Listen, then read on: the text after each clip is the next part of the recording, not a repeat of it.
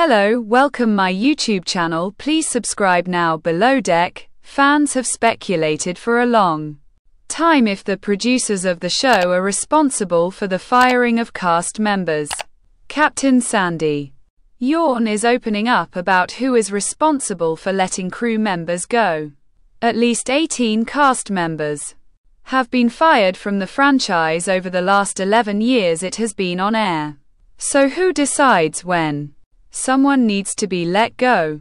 Keep reading to find out. Any given time during the filming of Below Deck Med Captain Sandy Yawn is responsible for the lives of 28 to 33 cast and crew aboard her vessel.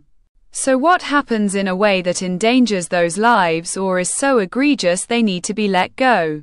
Fans have speculated that producers are responsible for deciding to fire crew any given time during the filming of Below Deck Med. Captain Sandy Yawn is responsible for the lives of 28 to 33 cast and crew aboard her vessel. So what happens in a way that endangers those lives or is so egregious they need to be let go? Fans have speculated that producers are responsible for deciding to fire crew captain. Yawn emphasized that it took her years to obtain her maritime license, and she takes her responsibility as captain very seriously. However, while fan speculation is that producers make their decisions to fire people, in reality, it is the captain's responsibility. Sandy takes her responsibility very seriously and she does not make these decisions based on viewers, producers, or drama.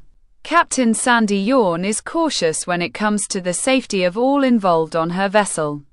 Ultimately, that is what she and her lawyers base decisions on.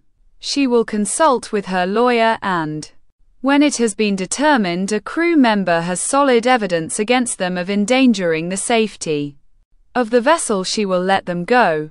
What do you think of Captain Sandy utilizing a lawyer to make the decision to fire a crew member? Do you think production should have any say in this process? Let us know in the comments. To catch up on everything below deck tune into Peacock.